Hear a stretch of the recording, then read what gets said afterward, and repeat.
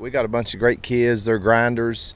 Uh, they work hard every day. Uh, they, they, we don't got great numbers, but like I say, they're great kids. They come to the weight room every day. We struggled in a couple of games, but we, have uh, got four wins now, and, and things are starting to click. And they're in and watching some video right now, and, and I think they're starting to feel a little bit of confidence about themselves. Have two wins in the district right now, and, and we're getting ready to really get challenged here. Uh, this week, Leslie County's they're ranked in all the polls. If you look at the AP poll and the uh, Cantrell ratings, they're in the top 10. So we got our work cut out this week going to Leslie County. And then the, the next week, Allen Central, they're ranked uh, and everybody's talking about them.